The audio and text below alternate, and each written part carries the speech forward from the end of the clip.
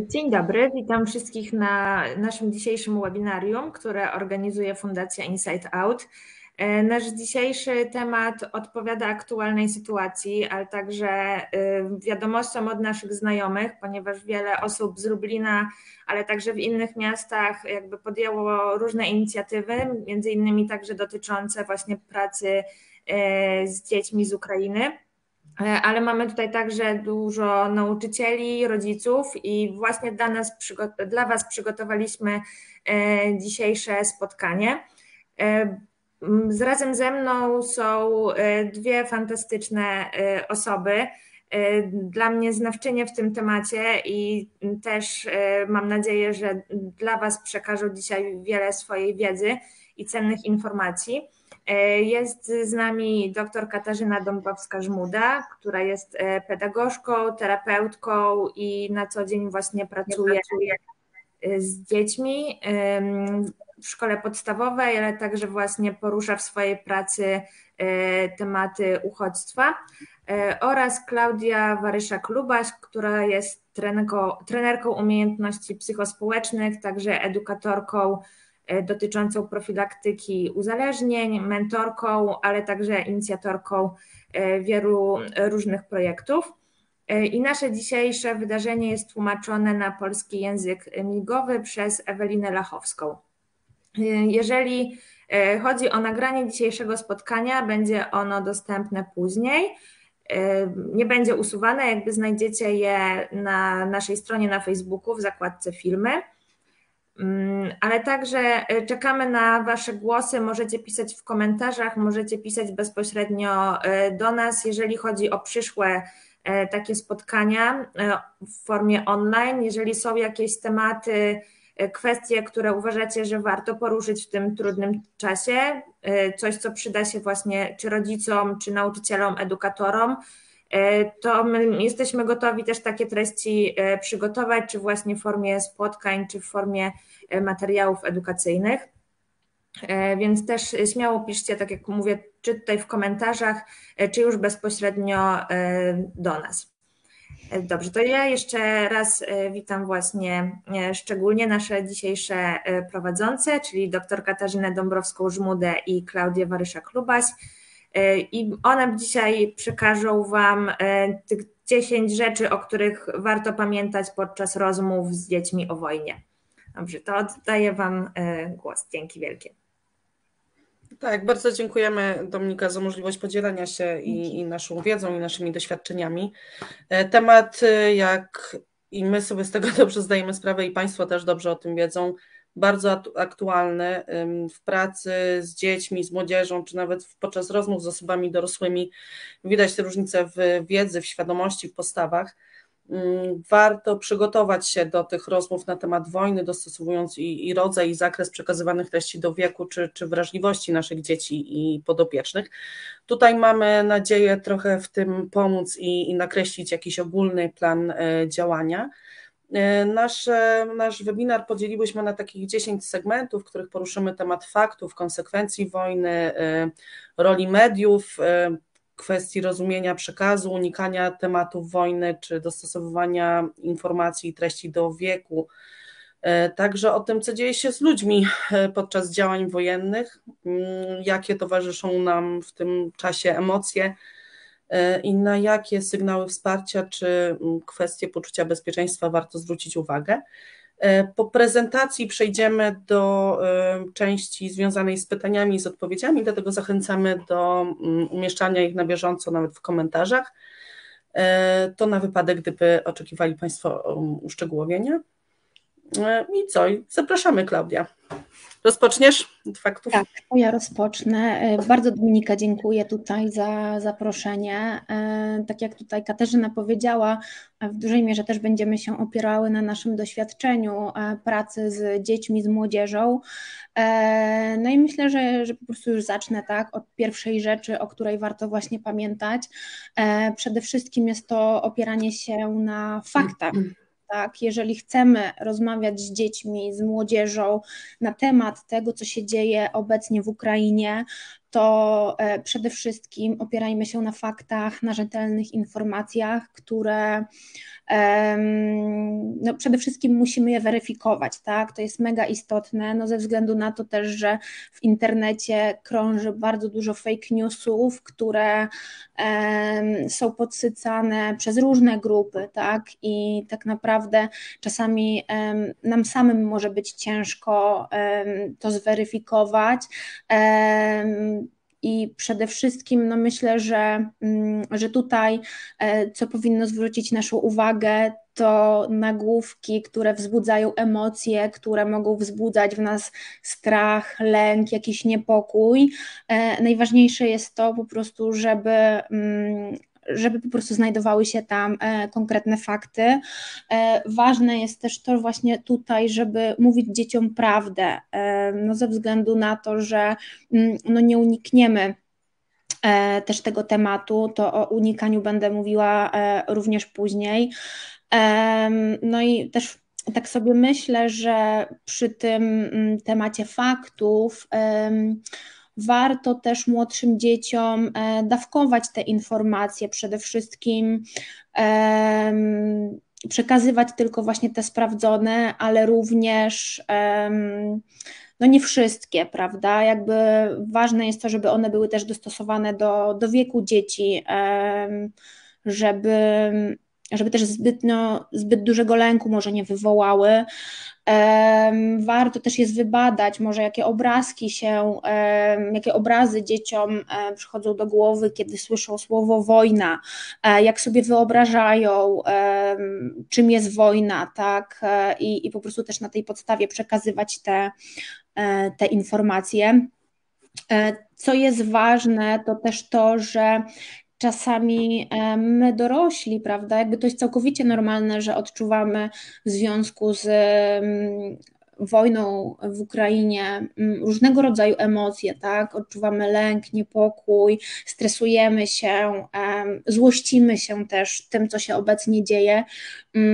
I w momencie, kiedy jesteśmy pełni różnych e, trudnych być może dla nas emocji, e, to też um, warto jest zadbać o taki spokój dla siebie, żebyśmy um, no w tych emocjach też um, nie rozmawiali z dzieckiem no ze względu na to, że, że może ta nasza rozmowa pójść w taką katastrofizację albo jakby no przede wszystkim musimy zadbać tutaj tak o, o swój spokój. Warto jest ochłonąć, zadbać o siebie na tyle, ile po prostu jesteśmy w stanie. No bo też w tej złości, w tych wszystkich emocjach i tak jak mówiłam wcześniej, e, w momencie, kiedy pojawiają się e, fake news, jakieś nieprawdziwe informacje, które są mega oparte właśnie na, na tym, żeby wywoływać w nas różne emocje, to, to my też jesteśmy bardziej podatni na, na manipulacje. E, łatwiej możemy uwierzyć w jakieś sensacje. Tak, lub nieprawdziwe informacje. E, szczególnie właśnie.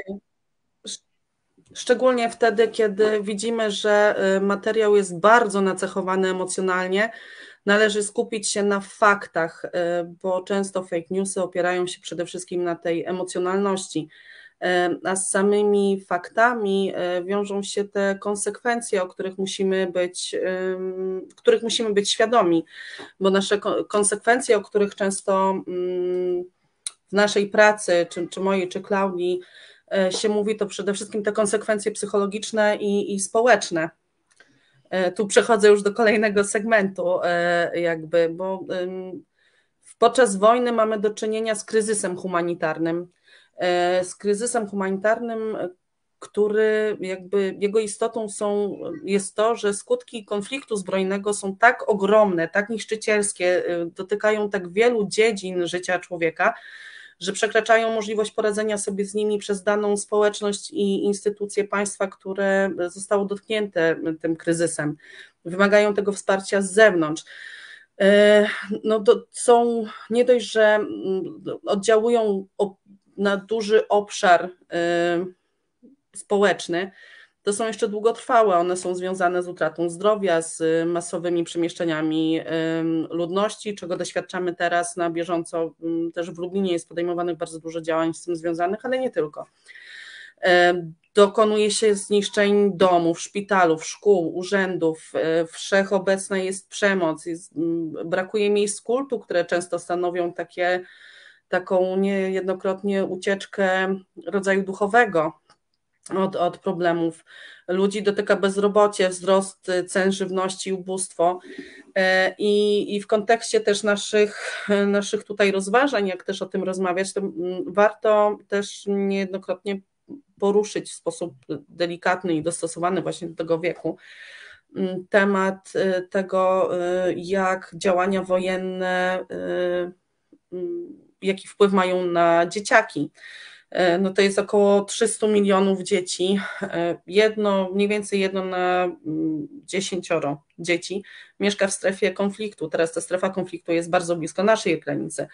Mm, te dzieci codziennie doświadczają e, śmierci kogoś z rodziny, sąsiadów, kolegów, widzą bombardowane domy, widzą szkoły, widzą szpitale, same doznają cierpień, stają się nieraz inwalidami, tracą poczucie bezpieczeństwa miejsce do życia, do nauki, uwagę i opiekę dorosłych, którzy w tym czasie starają się po prostu przetrwać i, i umożliwić to przetrwanie samym dzieciakom.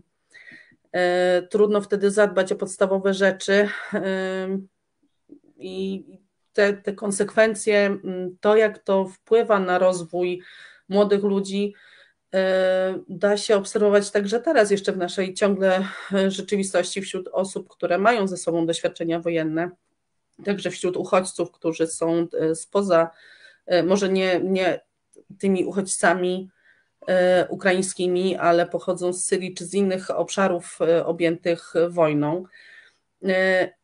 I przy tych wszystkich konsekwencjach negatywnych warto też zdawać sobie sprawę z tego, że pojawia się pewnego rodzaju światełko w tunelu, e, bo w Europie, e, w której no ostatnio na pewno dało się obserwować bardzo dużo sporów różnego rodzaju, doszło do niezwykłej spójności działań różnych krajów należących do tej wspólnoty europejskiej. Doszło do pewnej konsolidacji postaw czy światopoglądu do jednogłośnego potępienia działań Pupikina.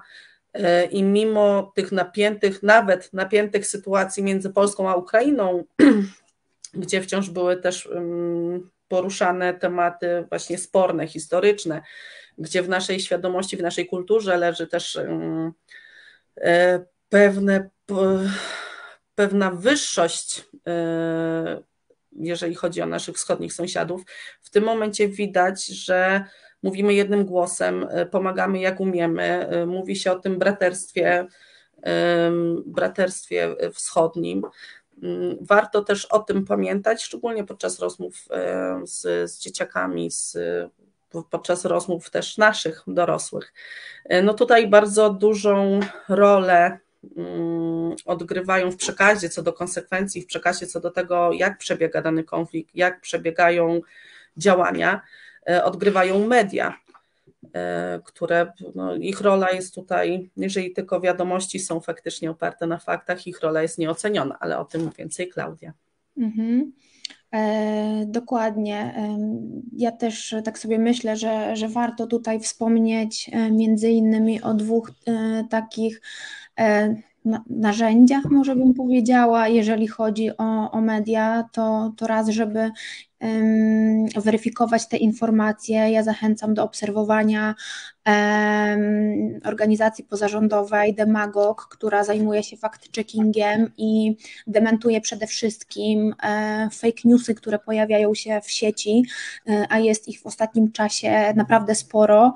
E, druga rzecz, powstała taka aplikacja KIKS, czyli konflikty i katastrofy światowe, gdzie również pojawiają się takie komunikaty, które są potwierdzone, które opierają się przede wszystkim na faktach.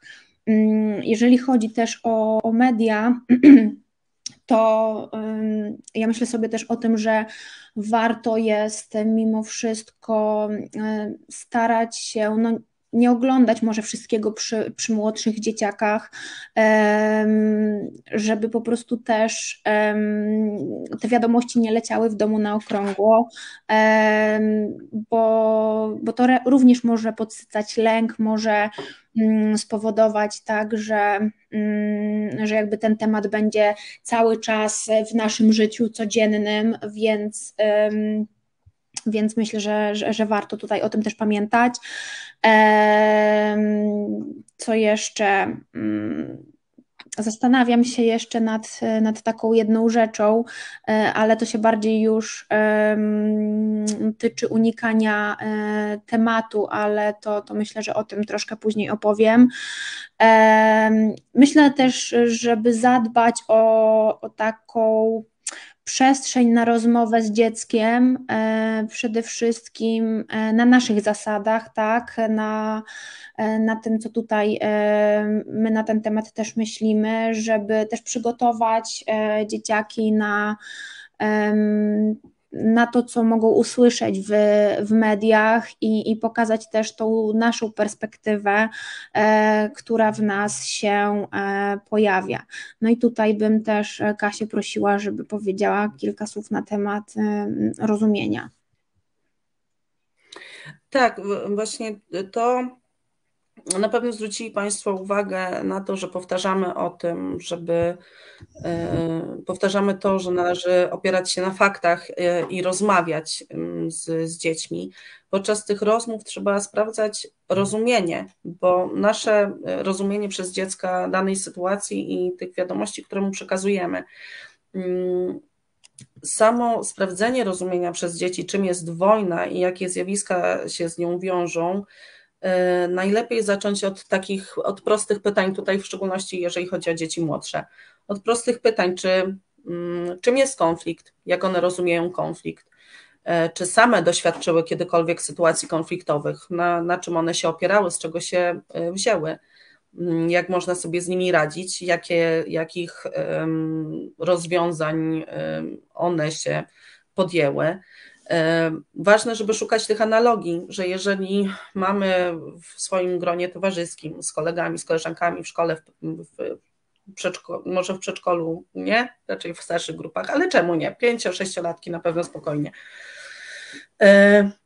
Warto się odnosić do tego, o co toczyło się, toczył się spór e, i jakie drogi zostały podjęte tak przez dzieci, jak i przez osoby otaczające. Można się tutaj odnieść do tego, że dzieci, które były jakby podmiotami sporu,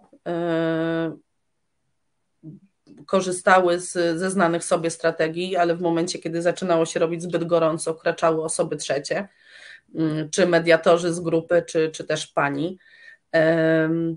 Dalej kontynuujemy ze starszymi dziećmi, czym jest wojna, kiedy jest wojna, na czym ona polega, y, skąd się bierze, co zmienia jakie są jej skutki, e, czy w wojnie w ogóle można powiedzieć o stronie wygranej i przegranej, zwracając tutaj oczywiście uwagę na to, że tak naprawdę mm, no wiadomo, kto uzyskał większą przewagę, ale koszty są tak duże, że nie wiadomo, czy te, o tej wygranej można w ogóle y, mówić. Y, warto zwracać uwagę na to y, i pytać o to, czy dzieci sobie wyobrażają, jak może wyglądać życie codzienne podczas wojny co, co, się, co się zmienia, czego może brakować. Dobrze jest podkreślać też kwestię tego, że wojny nie trwają wiecznie, że mają swój koniec. E, no, końcem takiej wojny jest na przykład osiągnięcie pokoju, na jakiej zasadzie, jak, jak to wyglądało wcześniej. Też kwestia, jak unikać wojen, czy są pewne umowy, pewne zasady, prewencja tego typu konfliktów. Można mówić młodszym dzieciom na przykład, że wojna jest dlatego, że jeden kraj napadł na drugi kraj i chce, chce zagarnąć jakieś terytorium, chce zagarnąć jakieś zasoby, bogactwa, które tam są.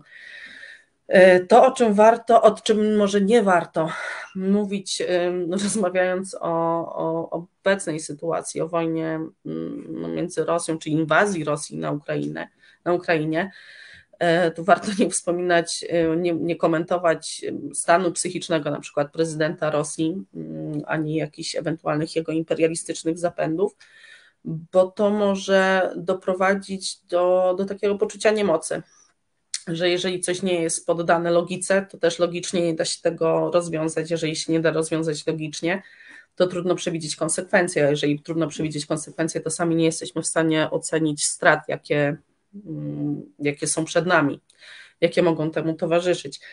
E, stąd bardzo ważne, żeby rozmawiać, rozmawiać, sprawdzać stopień zrozumienia, na pewno nie unikać, nie odcinać dzieci od, od, od informacji, od wiedzy. Mhm. Przekazuję głos. Okej. Okay. E, no tak jak właśnie powiedziałaś, no unikanie tematu, e, no nie powinno być czegoś takiego, tak, że staramy się za wszelką cenę e, dzieci odgradzać od tego tematu, od tematu wojny, która toczy się wokół nas, znaczy tutaj jakby po, na, po naszej zaraz za naszą granicą, tak? Zwłaszcza, że mm, wiele osób teraz na ten temat rozmawia. Przede wszystkim powinniśmy rozmawiać z dziećmi osobiście, e, zanim uzyska informacje z nierzetelnych źródeł lub e, zanim też ktoś inny porozmawia z, z dzieckiem. Ja dzisiaj też rozmawiałam z moją przyjaciółką na ten temat, na temat unikania i mówiła mi, że mm, bardzo starała się też e, unikać tej rozmowy, że starała się kontrolować e, wszystko, ale no, no nie da się po prostu tego wszystkiego kontrolować, tak? Jakby prędzej czy później dzieci się dowiedzą o tym, że, że wojna trwa. No i tak tutaj też było, że mm, jakby ta kontrola była do pewnego momentu, no ale dzieci przyszły z przedszkola, ze szkoły, tak, bo to jest jedno dziecko w wieku przedszkolnym, drugie w szkolnym i no i po prostu przy obiedzie zaczęły tak rozmawiać, e, że a wiesz mamo, że jak tutaj Rosja napadła na Ukrainę, e, to, to wtedy możemy być tak e, w dużym szoku i, i to może być sytuacja, w której no, nie do końca będziemy wiedzieli, wiedziały, jak zareagować, dlatego najlepiej przygotować się na taką rozmowę z dzieckiem, zastanowić się, e, co chcemy przekazać. No, tak jak wcześniej mówiłam, przede wszystkim nie zaczynajmy rozmowy, kiedy przeżywamy te silne i trudne dla nas emocje. No, wiem, że to, to nie jest łatwe, natomiast warto gdzieś mm, zadbać tutaj o taki spokój, o siebie przygotować się, zastanowić się, co chcemy powiedzieć, dać dziecku też czas na takie zastanowienie się i przemyślenie tych e, wszystkich informacji oraz też dać taką akceptację, e, jakby nie oczekiwać nic w zamian, ale dać też akceptację na takie momenty mm, milczenia, tak, momenty, e, no nie wiem, też trudnych emocji dla, dla dziecka. E, ale tak jak e, tutaj już kilka razy wspominałyśmy, przede wszystkim te informacje, e, które przygotowujemy dla, dla dzieci, one powinny być dostosowane do, do ich wieku, tak? Bo wiadomo, niektórych rzeczy nie powiemy dzieciom młodszym. I, I tutaj myślę, że Katarzyna już więcej opowie. Tak, no od wieku dziecka zależy przede wszystkim język, jakim się posługujemy w tej rozmowie i zakres szczegółów, e, do których się odnosimy. Na pewno dzieci w wieku 5-6 lat e, już mają ogólne wyobrażenie wojny. Wynika to z, mm, z tego, że już mają do tego czasu, mają kontakt i są w stanie odtworzyć i przywołać różne przykłady z, z literatury którą oczywiście dziecięcej, nie dziecięcej, ale e, tego, co, z czym się stykały. Mm, chcę Państwu przypomnieć i zwrócić uwagę na to, że już w programach e, edukacji przedszkolnej mm, są poruszane tematy związane z tożsamością narodową, z, z historią Polski. Nieraz są obchodzone, znam przypadki przedszkoli, gdzie przedszkolaki przygotowywały przedstawienia związane z mm, żołnierzami wyklętymi, z y, wszystkimi partyzanckimi działaniami e, podczas powstań czy, czy wojen. E, więc dzieci już w tym e, wieku starszym przedszkolnym mają wyobrażenie tego, czym jest wojna i, i, są w stanie wyłapać strzępki informacji, szczególnie te, których e, nieraz, które próbujemy przed nimi ukryć. Niezależnie od wieku, niezależnie od wieku, zawsze mówimy prawdę i należy się powstrzymywać przed obiecywaniem rzeczy, które leżą poza naszą kontrolą. E, które są w ogóle niezależne od nas. E, chodzi tutaj przede wszystkim o to, by ustrzec się przed utratą zaufania dziecka. E, dzieci bardzo dobrze zapamiętują to, co mówimy.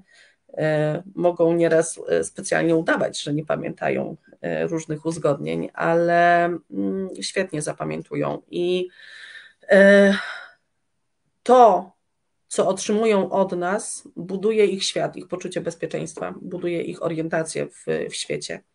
Jeżeli nas przełapią na kłamstwie jako takim, e, to na pewno staną się już bardziej podejrzliwe, a tego nie chcemy.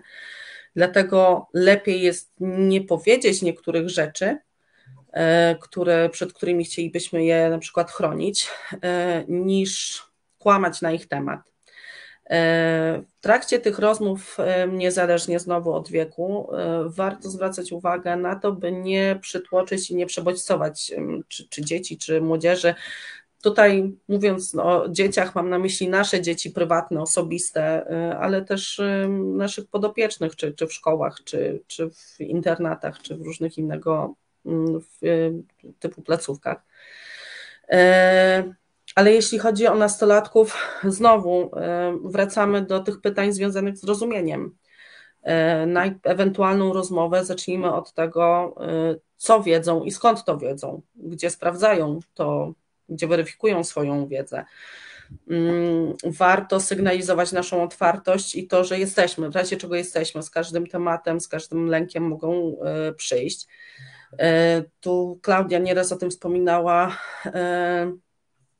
o sygnalizowaniu tego, że w internecie bardzo dobrze radzą sobie wszelkiego rodzaju fake newsy, które są niezwykle nośne. E, I dzieciaki także teraz w szkole, e, nieraz przysłuchując się niektórym rozmowom na, na korytarzach, czy, czy rozmawiając po prostu z, czy, tak z dziećmi, czy z młodzieżą, e, sama staram się weryfikować ich informacje i to, na czym się opierają E, bo jest tego naprawdę bardzo, bardzo dużo tych takich wiadomości plotkarskich.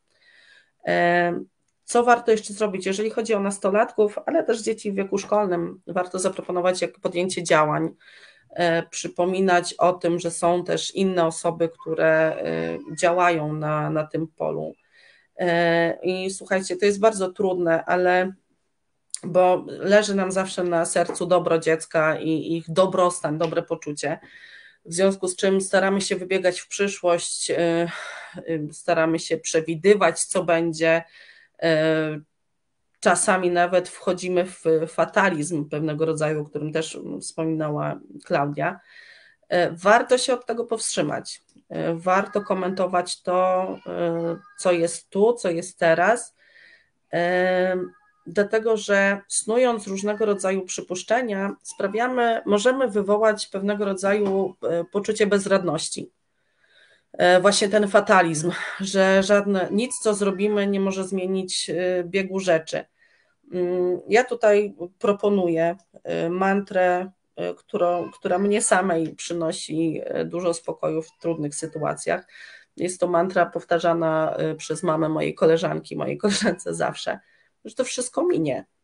Mm, minie to, co jest złe, e, zostanie to, co zostanie, to, co zostanie, z tym będziemy działać, będziemy pracować dla przyszłości. E, I po prostu to, to minie. A warto, warto mieć na uwadze, że e,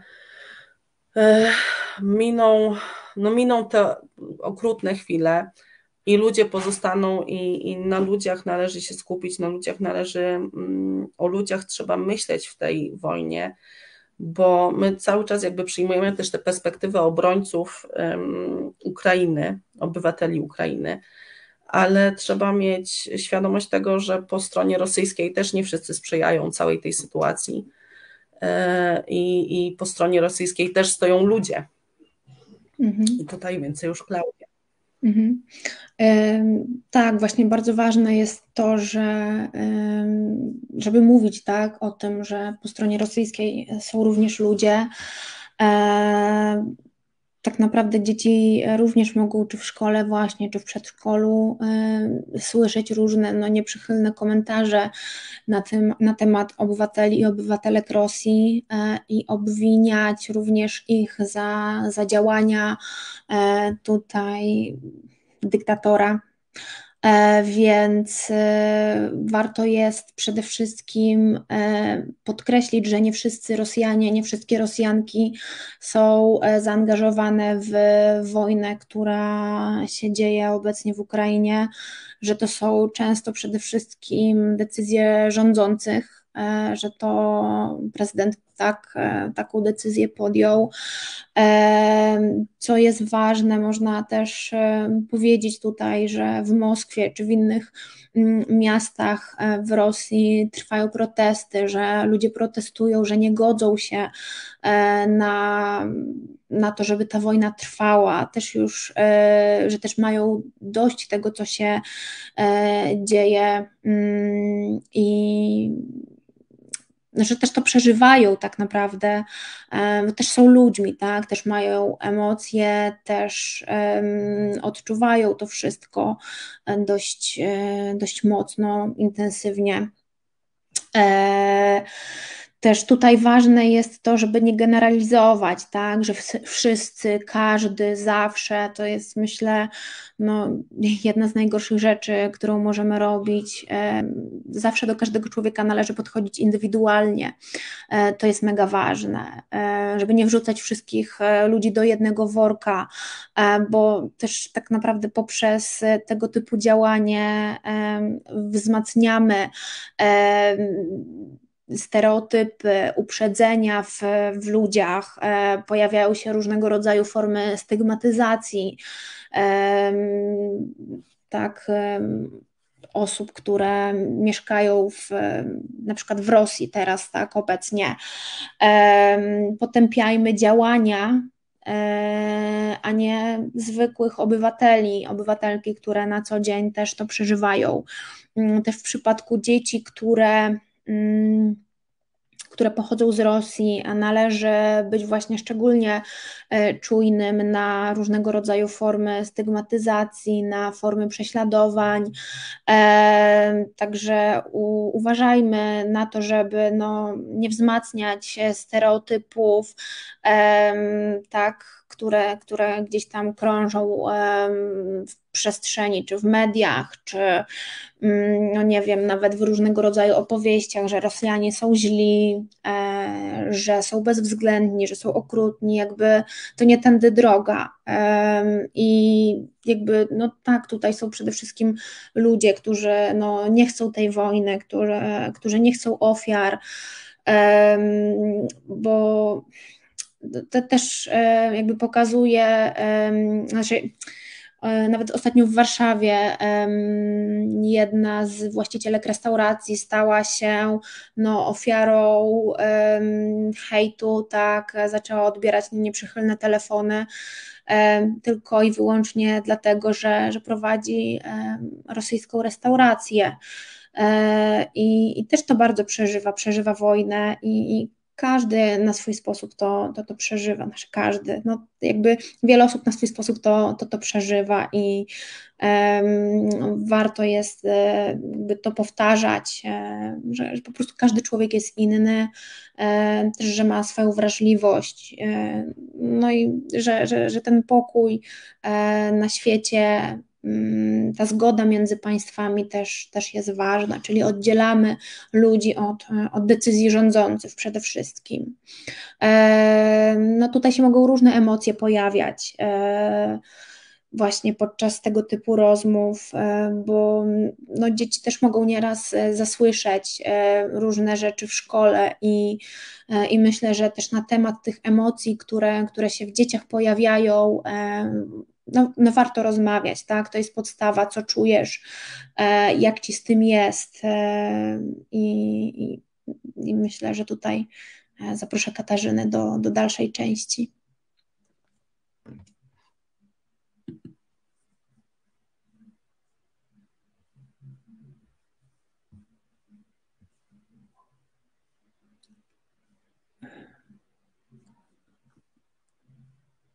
Nie wiem, jak Państwo, ale ja nie słyszę, Katarzyna, co mówisz.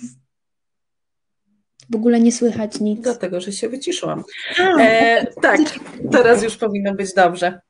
Przepraszam, tak. E, warto mm, tutaj przy tym temacie ludzi i emocji wspomnieć o tym, że to, co się pojawia na styku kultur, co jest związane z e, też naszym mm, po prostu postrzeganiem życiowym, to różnicowanie na my i oni, e, my i inni. Wtedy pojawiają się te kwestie stereotypów, uprzedzeń i dyskryminacji. I zaangażowanie emocjonalne przy tych zarówno stereotypy uprzedzenia, jak i zachowania, odpowiadają e, naszym zdolnościom związanym z przetwarzaniem informacji, czuciem tego, co, co, co się dzieje i zachowywaniem, reagowaniem e, na, na te sytuacje. Mm, bardzo łatwo tym wszystkim manipulować w momencie, kiedy e, dochodzi do manipulacji tymi emocjami. I są to zachowania, które są bardzo, y, bardzo w przypadku takich działań skrajnych y, niepotrzebne. Y, uruchomienie stereotypów związanych tak z, mm, z Ukraińcami, jak i z Rosjanami, to wykluczenie, jakby mm, odcięcie się od informacji potwierdzalnych, od faktów. Pójście w stronę uprzedzeń to jakby danie przyzwolenia na to, żeby ponieść się emocjom, które są, których doświadczamy y, i tych emocji jest bardzo dużo, są bardzo y, skrajne, są bardzo trudne. Y, no najgorzej, jeżeli to się wiąże z zachowaniem, przekłada się na zachowanie, na zachowania dyskryminujące, bo pani, o której wspominała Klaudia, sama zatrudnia osoby z Ukrainy i, i jakby aktywnie pomaga w tym momencie, jeżeli mówimy o tej samej kobiecie. E, aktywnie pomaga e, obywatelom, obywatelkom Ukrainy, a jest atakowana, doznaje, doznaje właśnie tej dyskryminacji e, wyłącznie ze względu na swoje pochodzenie i przekonanie innych dotyczące, odwołujące się do tego, co ona może myśleć i jakie mogą być jej intencje. To jest bardzo niebezpieczne. A jeżeli chodzi o same emocje, no to o tym też już Klaudia wspominała. E, zanim zaczniemy rozmawiać z, z naszymi dziećmi, z dziećmi, z nastolatkami, wyciszamy swoje emocje, trudne emocje. Tu jest, tu obowiązuje zasada ratownika e, medycznego, gdzie najpierw musimy zadbać o siebie, żeby móc pomóc innym. E, póki tego nie zrobimy, trudno przystępować do jakichkolwiek, nazwijmy to, działań naprawczych. A nasze dzieci, niezależnie od wieku, są doskonałymi obserwatorami i e, barometrami e, uczuć.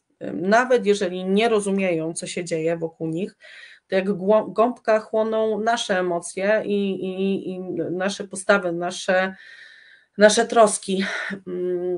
Więc póki my nad tym w jakiś sposób nie zapanujemy, to na pewno nie uda nam się tego zrobić też w przypadku naszych dzieci.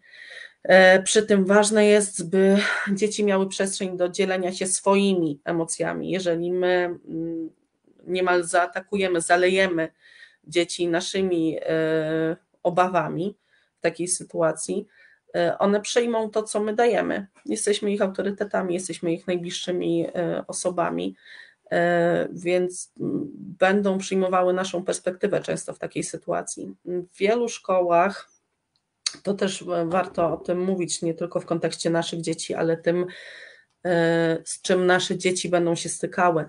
W wielu szkołach pojawiły się już dzieci uchodźcze i warto w rozmowach o emocjach z, z naszymi dziećmi e, włączyć to, co mogą e, czuć dzieci uchodźcze i jakie zachowania w związku z tym mogą prezentować. Znowu dochodzimy do kwestii stereotypów, uprzedzeń, dyskryminacji dzieci, które nie znają języka, e, które e, budzą się w innej rzeczywistości, w otoczeniu innych ludzi, e, odczuwają strach, odczuwają tęsknotę, odczuwają złość, mają w sobie agresję, tłumioną gniew, gniew mogą odczuwać bezsilność, smutek. To nie są dzieci, które będą reagowały adekwatnie mm, do naszych oczekiwań, do oczekiwań e, ich kolegów, polskich kolegów.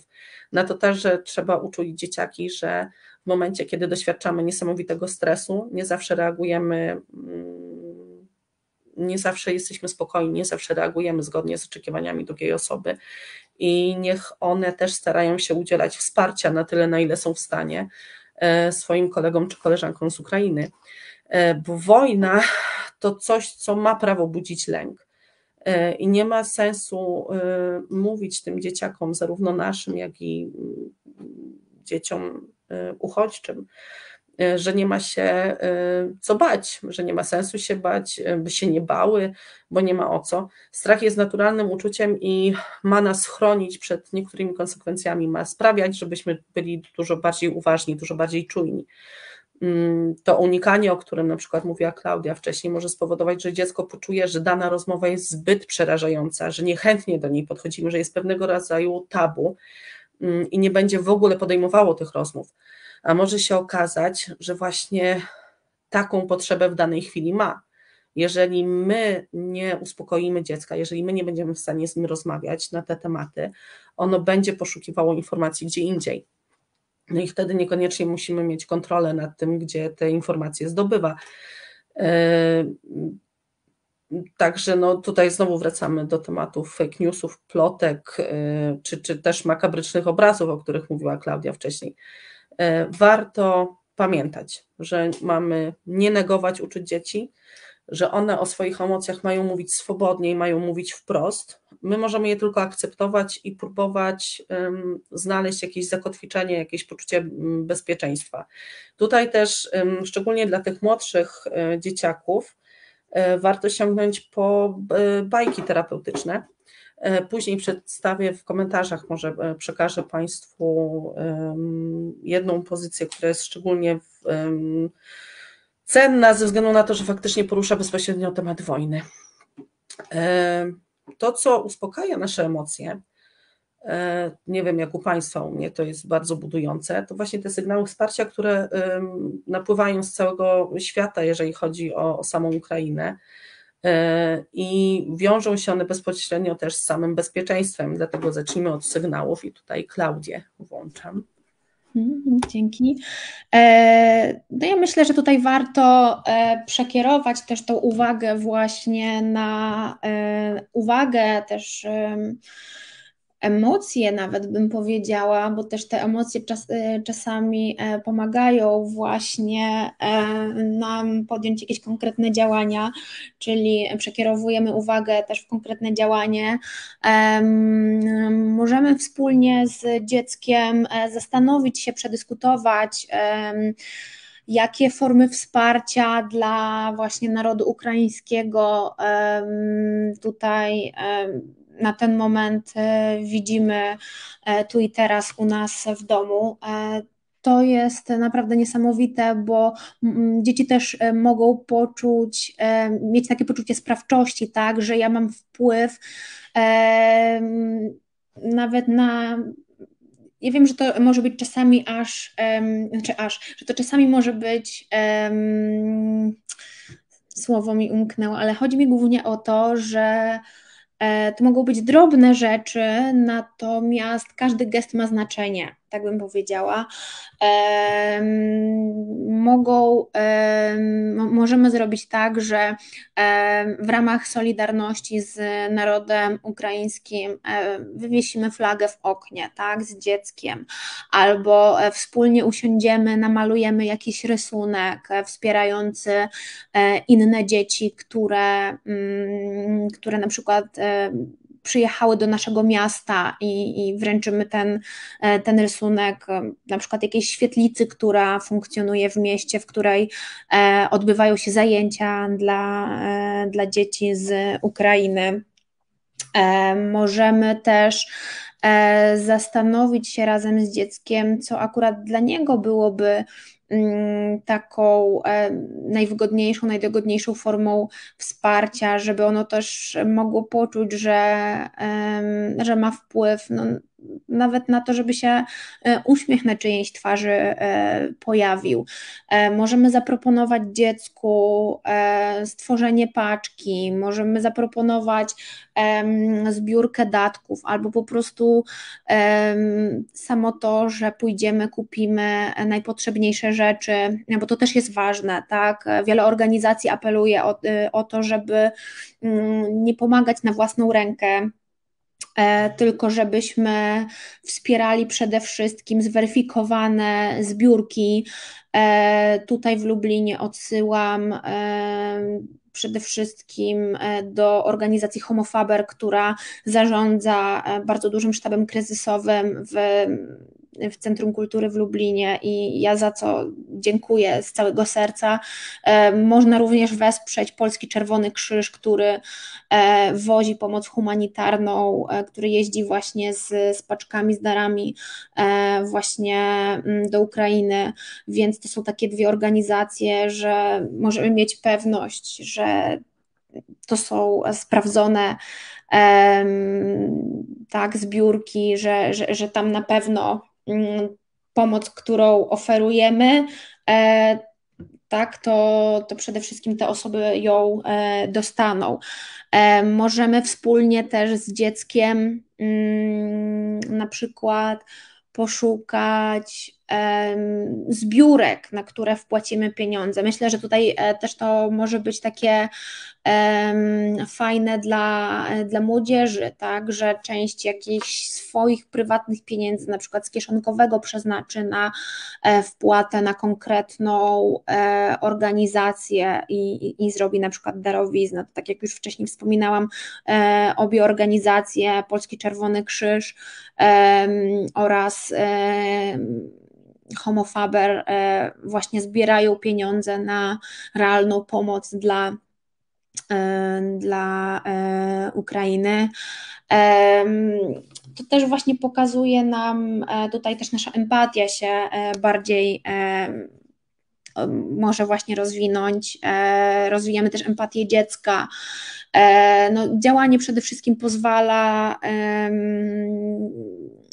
zachować takie poczucie sprawczości, E, I, I, myślę, że, że, że, to jest ważne, tak, że dziecko będzie miało poczucie, e, kurczę, ja pomogłem, pomogłam i, i też będzie e, mogło od, odczuwać w związku z tym jakąś taką no, dumę, tak, że no ja nie pozostaję obojętne, ale to też e, jest ważne, tak, no bo dzieci się uczą, że w takich sytuacjach kryzysowych po prostu należy się wspierać, że to wsparcie jest ważne, żeby się organizować e, i, i, przede wszystkim działać wspólnie. E, I no. I tak. Kasiu? Tak, no to co, to, co jest tutaj też ważne, te sygnały wsparcia Y, one działają y, nie tylko na, y, na dzieciaki z Ukrainy, na dorosłych, one też działają na nas. To jesteśmy blisko tego konfliktu i, i świadomość tego, że są ludzie na granicy gotowi pomóc, że są organizacje, różne organizacje i, i wyznaniowe, i, i państwowe, i międzynarodowe, które działają na korzyść e, obywateli, nawet e, kwestia hakerów e, z grupy Anonymous, którzy angażują się w, w takie ataki cybernetyczne na, na Rosję, które jakby uniemożliwiają rozprzestrzenianie się tych, tych działań, w, czy nawet fake newsów, bo zaatakowali ostatnio telewizję propagandową, prorządową Mm, i, i różnego rodzaju strony. Te wszystkie sygnały wsparcia sprawiają, e, że pojawia się e, pewnego rodzaju poczucie sprawczości, o którym Klaudia już mówiła. To jest niezwykle, niezwykle ważne e, tak dla naszego poczucia bezpieczeństwa, jak poczucia bezpieczeństwa naszych dzieci. Ono jest w tym czasie bardzo nadwyrężone, ono często jest bardzo niestabilne. Mm, dlatego poruszanie tematów o, o, sygnałach wsparcia jest istotne. Ja ostatnio, dość wzruszająca w ogóle scena, gdzie e, chłopiec, po chłopca z Ukrainy, który no, dołączył do, do dzieciaków wczoraj. Przyszła siostra, musieli mm, załatwić jakieś papiery więc chłopiec musiał opuścić ostatnią lekcję. I mimo tego, że jakby nie, dzieciaki nie porozumiewają się w, w, w słowach, um, używają do tego e, translatorów w telefonach. To jest w ogóle wyjątkowa sytuacja, kiedy dzieci mogą w całej szkole chodzić bezkarnie z telefonem, bo chcą po prostu, e, szukają sposobu komunikacji. Chłopiec opuścił chłopiec opuścił klasę y, i, i zarówno jego koleżanki, jak i koledzy z, no, z Polski e, zaczęli zbijać z nim żółwiki, e, klepali go po plecach, mówili, że tam już nauczyli się zwrotów, bo część klas przygotowała sobie słowniczki podręczne. Część dała, już go żegnała, mówiąc do zobaczenia, głowa do góry. To są niesamowite rzeczy, które E, pozwalają e, poczuć taką akceptację. E, akceptacja daje nam poczucie bezpieczeństwa. To, że nie doszukujemy się sygnałów agresji od innych, daje nam poczucie bezpieczeństwa. Mm, to, o czym Klaudia mówiła, jest bardzo, bardzo ważne, żeby tak samo jak i my, tak samo nasze dzieci, powinniśmy się decydować na zaangażowanie w różnego rodzaju działania. Działania są E, bardzo różnorodne. E, zachęcam też do, do wypełnienia formularza, nie wiem, chyba na stronie Homofabry jest obecnie, w którym e, opisujecie Państwo, jaką pomoc możecie w ogóle, jakiej pomocy możecie udzielić, czy możecie przenocować kogoś, pomóc w zgromadzeniu dokumentów, przyjąć po prostu, żeby ktoś mógł odpocząć w łóżku i ruszyć w dalszą podróż. podróż.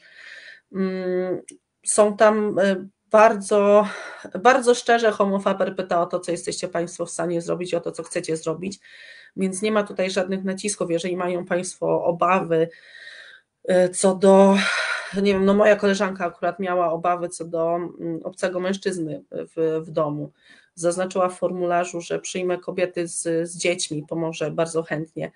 Mm, no i to jest bezpośrednia informacja dla osób organizujących pomoc, jakby E, kto jest adresatem ewentualnych e, działań. E, te sytuacje, kiedy dochodzi do działań pomocowych, są niezwykle emocjonalne i niezwykle wzruszające. I myślę, że nam wszystkim w tych trudnych czasach pozwalają wierzyć w to, że to minie, że minie, że, że razem będziemy pracowali nad tym, e, żeby było lepiej. E, I jeszcze w zakresie samego bezpieczeństwa, e, nie róbmy krzywdy, starając się chronić. Nie starajmy się ze wszelką cenę odcinać dzieciaków od przekazów medialnych. Bądźmy obok, tłumaczmy, przytulajmy w trakcie, sprawdzajmy stopień zrozumienia. E, budowanie jeszcze większego napięcia może spowodować, że dziecko po prostu poczuje się jeszcze bardziej niespokojne. Zawsze to, to jest podstawa wszystkich działań ksenofobicznych. Boimy się tego, czego nie znamy. Boimy się tego, przed czym jesteśmy chronieni, niezależnie od tego, czy nam faktycznie zagraża, czy nie. Terapeuci też zwracają uwagę, ostatnio czytałam wywiad z panią psycholog, która zwróciła uwagę na to, żeby na przykład w drodze do szkoły e, nie włączać radia z newsami, e, nie włączać e, przekazów w trakcie prowadzenia samochodem, które mogą rozstroić nas, które mogą rozstroić nasze dzieci, które mogą wpłynąć na, na cały ich dzień tak naprawdę. A sama sytuacja bycia w samochodzie uniemożliwi nam bycie obok, jakby natychmiastową reakcję, E, w przypadku ewentualnego, nie wiem, napadu lęku albo po prostu e, niepokoju dziecka.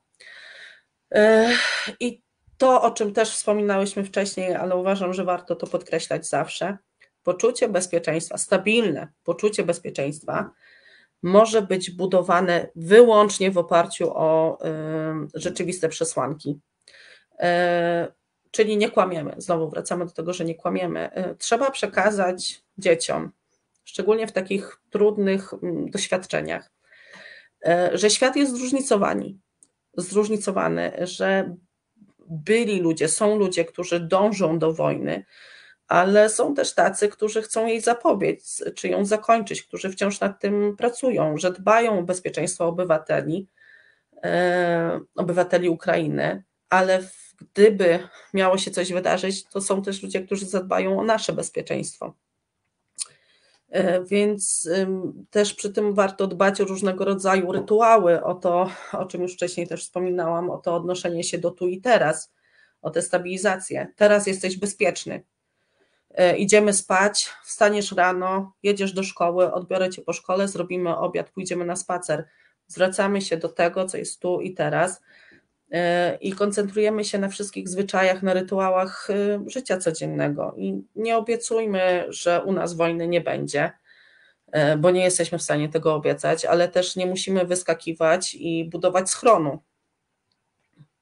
W tej sytuacji takiego nieodgadnionego, Jedyne, co nas może uratować, to spokój, tak naprawdę. Nie, mm, nie mamy wpływu na wszystko, ale mamy wpływ na to, jak funkcjonuje w tej sytuacji nasza rodzina, jak funkcjonujemy my, co dajemy od siebie i nad czym staramy się panować, i, i o tym warto pamiętać. E, ja na tym etapie dziękuję. E, myślę, że tutaj wyczerpałyśmy te tematy, które chciałyśmy poruszyć. Zasygnalizowałyśmy je przynajmniej, może nie wyczerpałyśmy, bo można by było jeszcze długo mówić.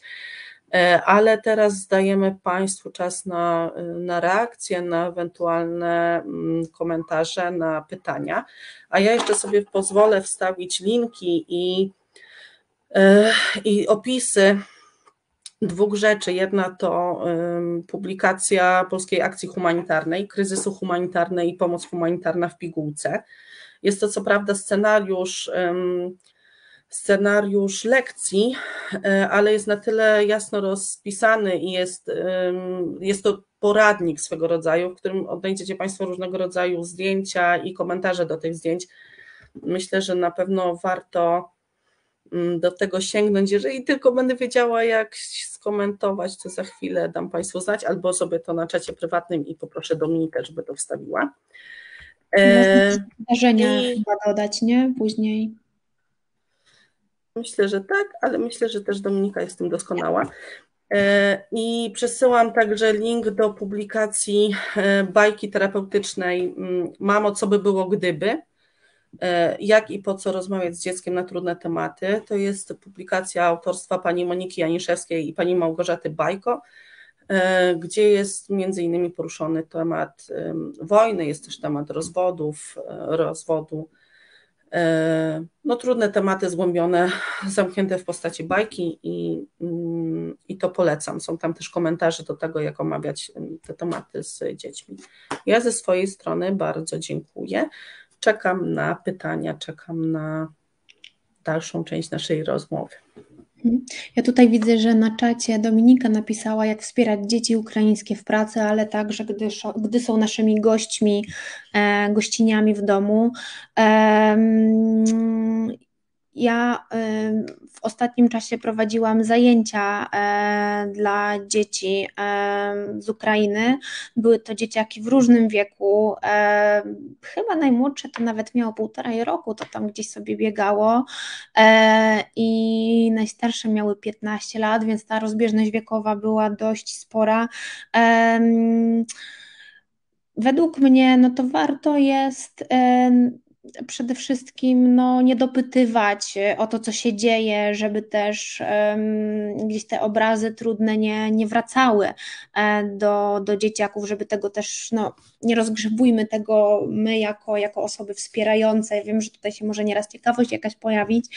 Um, jakby moim takim sposobem na e, wsparcie dzieci no, jest propozycja wspólnego spędzenia czasu, tak, jakiejś zabawy.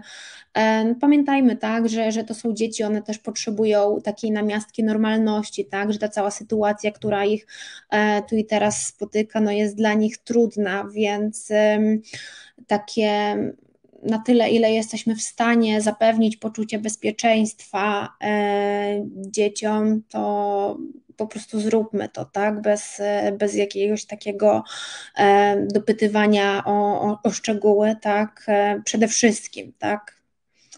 Wiem, Kasia, chciałabyś coś tutaj dodać jeszcze od siebie?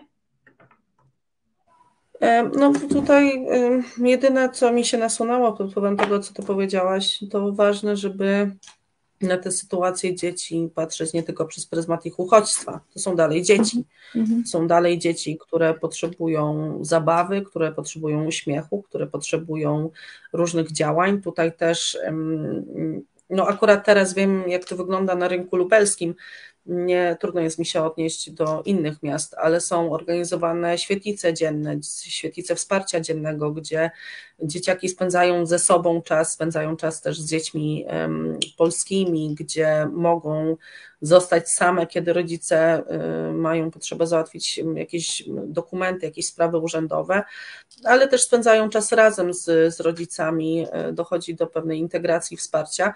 Myślę, że y, te działania są, znaczy no, jestem, wiem o tym, że te działania są otwarte dla ludzi z zewnątrz, jeżeli chcą Państwo, mają Państwo taką intencję, można na pewno tam przyjść, odwiedzić, wesprzeć, pobawić się, pokazać, że no, że są mile widziani e, i że mogą liczyć, e, jeżeli w tej sytuacji nie mogą liczyć na bezpieczeństwo w swoim kraju, to mogą w naszym e, i że życie tych ludzi nie musi być teraz postrzegane tylko przez pryzmat wojny.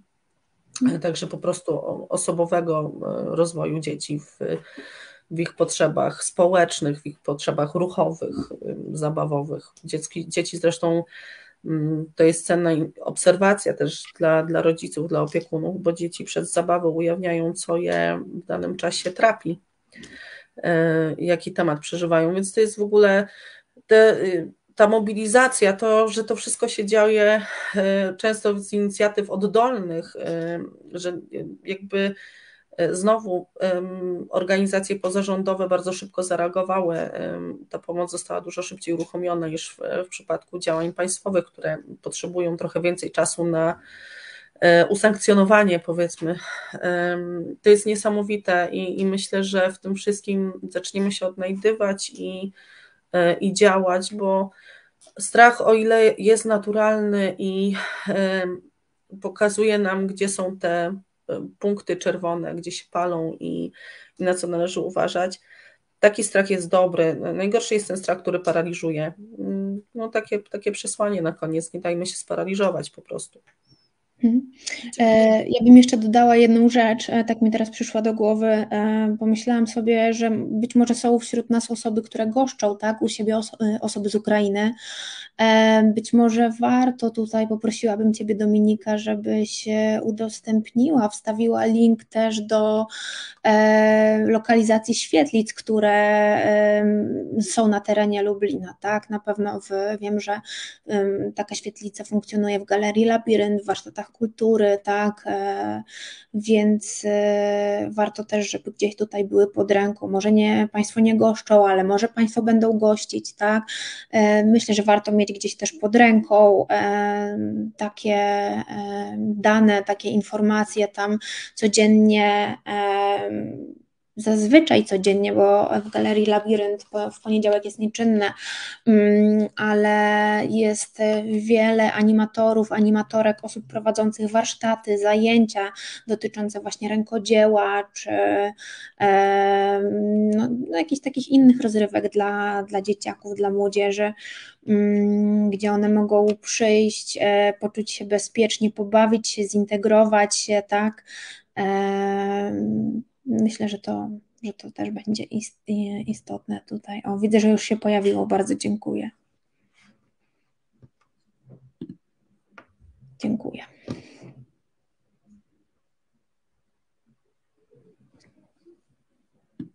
Czy jeszcze ktoś z Państwa ma jakieś pytania?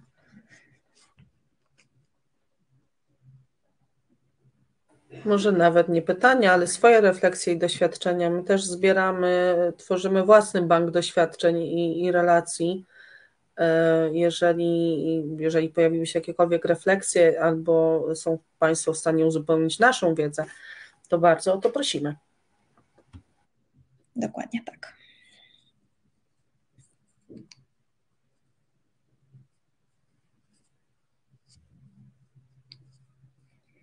Też myślę sobie, że w razie gdyby po jakimś czasie do Państwa przyszły refleksje, no to my też jesteśmy, znaczy nie wiem jak Ty, w sumie dobrze, nie będę się za Ciebie wypowiadała. ja jestem dostępna, e, można się do mnie odezwać. E, też jakby jestem gotowa e, przeprowadzić jakieś takie spotkanie, nawet żebyśmy mogli się i mogły wszyscy spotkać, porozmawiać, powymieniać refleksjami, doświadczeniami. Tak, tutaj też fundacja. E, myślę, że też jesteśmy otwarte na ewentualne zaproszenia tak, e, tak, tak. Do, do szkół. Jeżeli tylko Państwo czegoś takiego potrzebują, e, śmiało. Też warsztaty z tego, jak odciągnąć uwagę, wrócić ku zabawie, żonglerce czy innym działaniom. Tak, to tutaj już fundacja też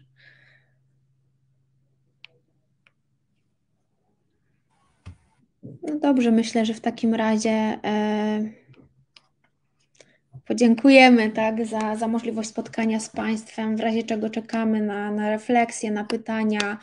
E, ja bardzo dziękuję za, za możliwość e, tutaj powiedzenia o, o, moich doświadczeniach i też podzielenia się moimi doświadczeniami i wiedzą na, na łamach profilu fundacji.